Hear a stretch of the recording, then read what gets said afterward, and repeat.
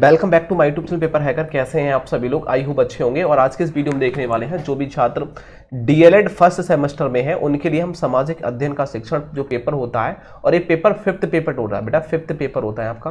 ठीक है fifth number paper होता है, आप जानते हैं। और इसमें हमारे तीन टाइप के क्वेश्चन बनते हैं। एक एमसीक्यू क्वेश्चन भी पूछे जाते हैं वेरी शॉर्ट क्वेश्चन पूछे जाते हैं और शॉर्ट क्वेश्चन पूछे जाते हैं। ठीक है? तो ये तीन टाइप के क्वेश्चन बनते हैं और इन क्वेश्चनों को हम कैसे देखने वाले हैं? बिल्कुल आसानी तरीके से।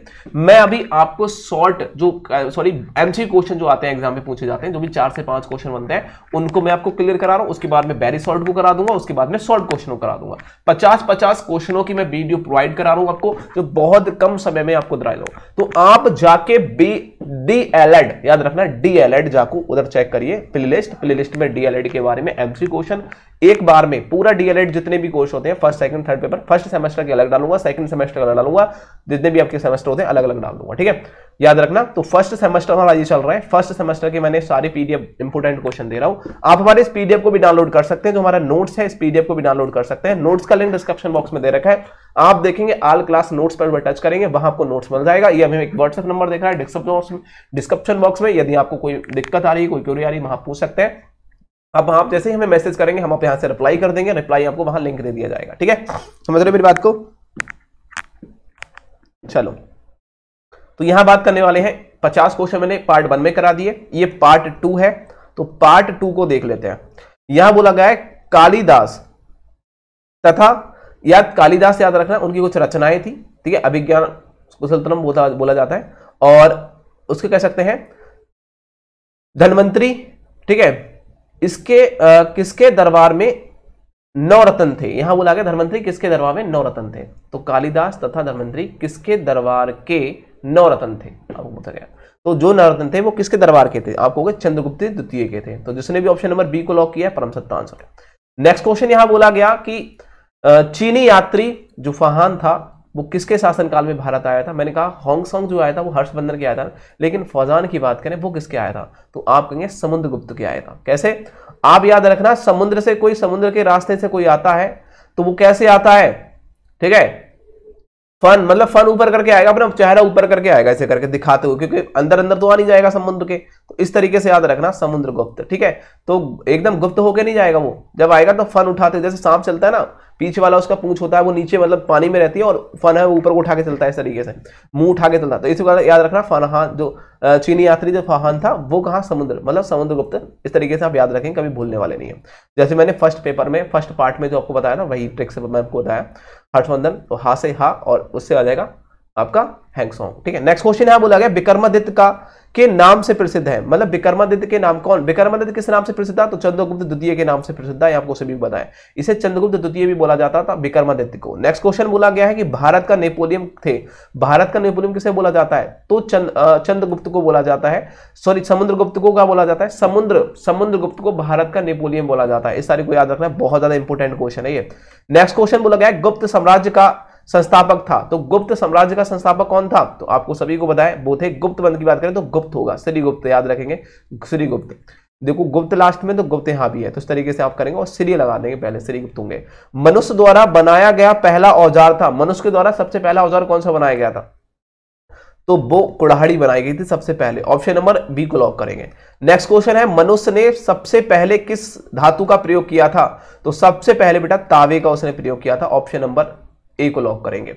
नेक्स्ट क्वेश्चन यहाँ बोला गया है कि न आ, कह सकते हैं नप नपाषण काल में आविष्कार हुआ था। तो नपाषण काल में किसका आविष्कार हुआ? आपको पता है वो किसका हुआ था? आग का भी हुआ था नव मतलब नए नए जन्म जब हुआ था तो आग का जन्म उन्होंने दिया था पहिया का। इसको याद रखना है बहुत नपाषण बात किया तो आग का और पहिया का आविष्कार किया गया था। नेक्स्ट क्वेश्चन बोला गया है सम्यक ज्ञान और सम्यक दर्शक सम्यक आचार्य। आचरण ये तीन रत्न है। रतन थे, किस चीज़ के रतन थे ये? ये तीनों रतन बेटा जैन धर्म के थे, ठीक है? याद रखना ऑप्शन नंबर देखो ज्ञान, दर्शन और आचरण जो थे, वो जैन धर्म के रत्न थे। मतलब ये तीन उन्होंने अपने विचार दिए थे, इस तरीके से कह सकते हैं। महावीर स्वामी, आप जानते हैं जो 24 नंबर के जैन धर्म के तीर्थक थे? अब यहाँ आपसे पूछा गया है कि उनका जन्म हुआ कहाँ था? तो आपको पता है, उनका जन्म कुंडग्राम में हुआ था, वैशाली के कुंडग्राम में। ऑप्शन नंबर ए को लॉक करेंगे, महावीर ये चौबीस में तीर्थक थे। नेक्स्ट क्वेश्चन आपके सामने है, एक बार देखेंगे। प्रामिंड किस देश में है? देखिए। देखो, आप इसकी बात की जाए आप देख सकते हो 2017 में एक क्वेश्चन पूछा गया था कि पैरामिड किस देश में है? तो आप सभी को पता होगा ऑप्शन नंबर जिसने भी दिया है, सी, मिस्र में है। पैरामिड, ठीक है? जिसे पिरामिड भी बोला जाता है, पिरामिड। नेक्स्ट क्वेश्चन बोला गया है, पहिए का आविष्कार हुआ था तो पहिए का आविष्कार कब हुआ था, आप बताएँगे। पहिए का आविष्कार कब हुआ था तो नव पाषण काल में हुआ था, और आग का, दोनों का भी मैंने आपको बताया था। नेक्स्ट क्वेश्चन बोला गया है, यात्री मंत्र सॉरी गात्री मंत्र का संबंध किससे है? तो गात्री जो मंत्र था, वो ऋणवेद से संबंधित था। ऋणवेद से लिया गया है गायत्री मंत्र, ठीक है? हाँ। इसको देखो, यहाँ बोला गया है, गायत्री मंत्र से बोला जाता है। यहाँ बोला गया है प्राणों की संख्या कितनी है? तो प्राणों की संख्या आपको पता है, अठारह है, अठारह प्राण है, ठीक है? अठारह, क्या है? प्राणों की संख्या है। नेक्स्ट क्वेश्चन बोला गया है, बुद्ध और संघ और धर्म और त्रतन है। बुद्ध, संघ एवं धर्म, त्रतन किसके हैं? तो आपको सभी को पता होगा, वो थे बौद्ध धर्म के। ऑप्शन नंबर बी को लॉक करेंगे। नेक्स्ट क्वेश्चन बोला गया, बौद्ध धर्म के संस्थापक थे। तो बौद्ध धर्म के कौन संस्थापक थे? तो आप कहोगे महात्मा बुद्ध। महात्मा बुद्ध बौद्ध धर्म के संस्थापक थे। नेक्स्ट क्वेश्चन यहाँ बोला गया है कि सिंधु सभ्यता का सर्वाधिक उपयुक्त नाम क्या है? तो सिंधु सभ्यता का सबसे उपयुक्त जो नाम है, वो है हड़प्पा सभ्यता। ऑप्शन नंबर ए को लॉक करेंगे। नेक्स्ट क्वेश्चन यहाँ बोला गया आप देखने मात्र से ही आप एक दो बार वीडियो को देखेंगे तो आपको सारा याद हो जाएगा, ठीक है? उसके बाद में है आरंभिक वैदिक साहित्य साहित्य में जो सर्वाधिक वर्णित नदी है, वो कौन सी थी? तो आपको पता है वो सिंधु नदी सबसे ज़्यादा इंपोर्टेंट नदी थी उस समय। नेक्स्ट क्वेश्चन बोला है, सिंधु घाटी सभ्यता के लोगों का मुख्य व्यवसाय क्या था? मतलब कि वो क्या काम करते थे? तो आपको पता है वो कृषि करते थे। ऑप्शन नंबर डी को लॉक करेंगे। नेक्स्ट क्वेश्चन बोला गया है, शुद्ध सभ्यता सिंधु सभ्यता में बृहद स्नानगर कहाँ पर पाया गया? तो आपको पता है वो पाया गया था मोहनजोदड़ो में। ऑप्शन नंबर जिसने ए को लॉक किया है, बिल्कुल राइट है।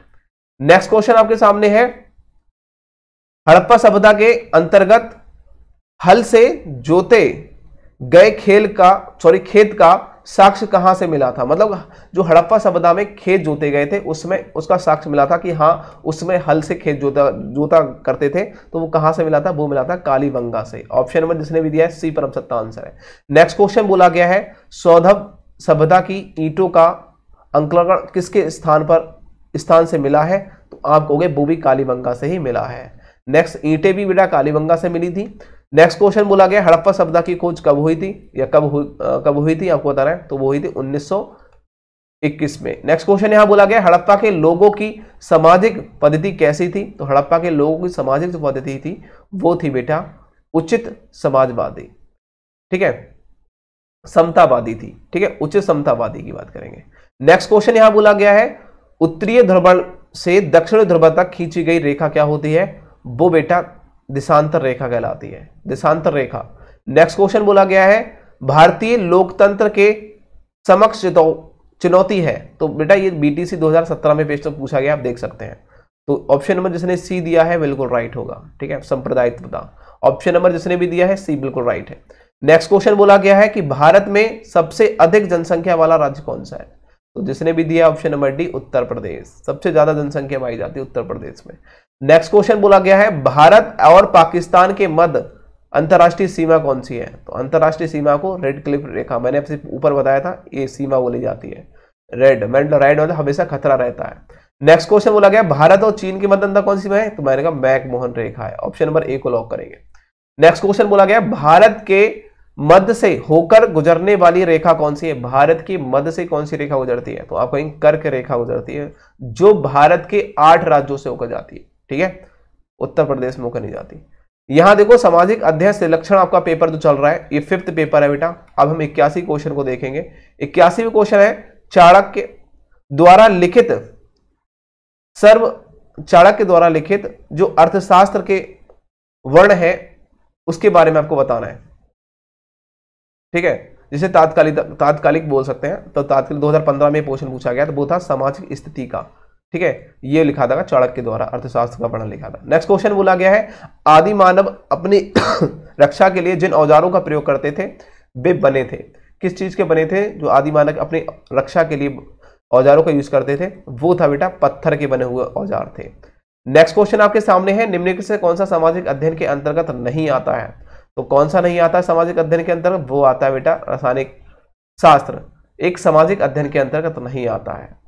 नेक्स्ट क्वेश्चन है, पृथ्वी के बाकी इतिहास। ये तो समाज की बातें होती हैं, समाज के नागरिक शास्त्र के बारे में, भूगोल शास्त्र सामाजिक शास्त्र कहलाते हैं। लेकिन रसायन रसायन जो केमिस्ट्री से बोला जाता है, वो समाज शास्त्र के अंतर्गत नहीं आती। समाज समाज विज्ञान के अंतर्गत नहीं आती, ठीक है?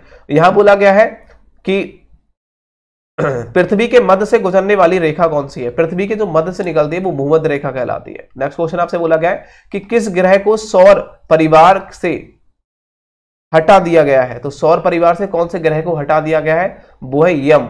यम को हटा दिया गया है, यम ग्रह को, सौर परिवार से। नेक्स्ट क्वेश्चन छियासी में बोला गया है, जब सूर्य और चंद्रमा के बीच में पृथ्वी आ जाती है तो उसमें क्या होता है? उसमें बेटा चंद्र ग्रहण पड़ता है। सूर्य और पृथ्वी के बीच में, सूर्य और चंद्रमा के बीच में पृथ्वी आ जाती है, उसे चंद्रग्रहण उसमें चंद्रग्रहण पड़ता है। नेक्स्ट क्वेश्चन यहाँ बोला गया है, जब पृथ्वी और सूर्य के बीच में चंद्रमा आ जाता है, जब पृथ्वी और सूर्य पृथ्वी और सूर्य के बीच में चंद्रमा आ जाता है तो उसमें सूर्य ग्रहण पड़ता है। याद रखना, पृथ्वी, देखो, पृथ्वी और सूर्य के बीच में चंद्रमा आ जाए तो कौन सा ग्रह पड़ेगा? तब पड़ेगा बेटा हमारा सूर्य ग्रहण ठीक है?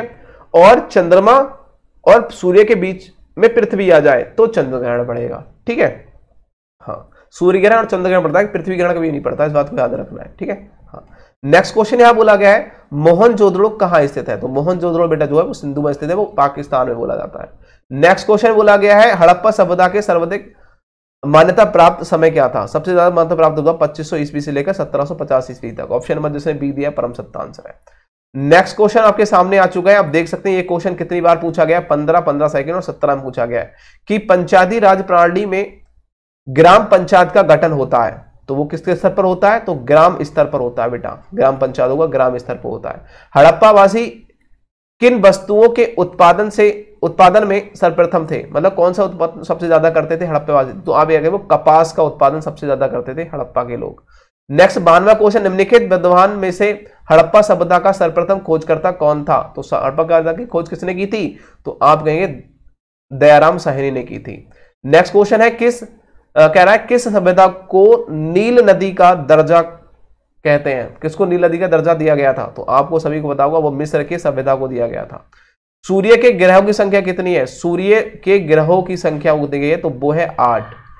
नेक्स्ट क्वेश्चन यहाँ बोला गया है बे रेखाओं जो भूमध्य रेखा के समांतर उत्तरी और दक्षिणी ध्रुवों के भागों में पूर्व से पश्चिम की ओर खिंची मानी जाती हैं।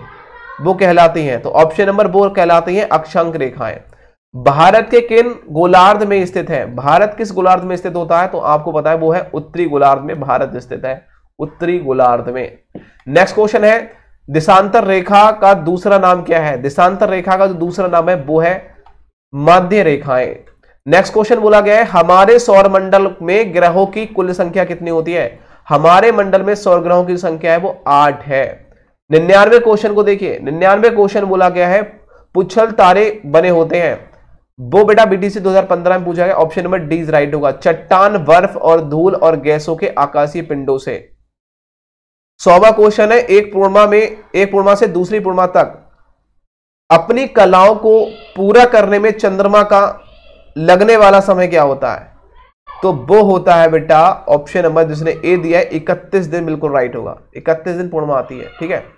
पूर्णमासी से बोलते हैं। तो ये था 2022 और 23 के लिए इंपोर्टेंट क्वेश्चन जो आपके लिए बहुत ज़्यादा इंपोर्टेंट है। बीटीसी एग्ज़ाम या फिर जिसे हम डी एल फ़र्स्ट सेमेस्टर की बात करने वाला है फिफ्थ पेपर है। अब मैं उसको हम 101 से इसके पार्ट थर्ड को देखेंगे। ये पार्ट टू था हमारा। हमने पार्ट टू को देखा। पार्ट थर्ड को हम देखेंगे अगले वीडियो में। और चैनल को अभी सब्सक्राइब कर लीजिए बेल आइकन को प्रेस कर दिए thank you for watching this video bye bye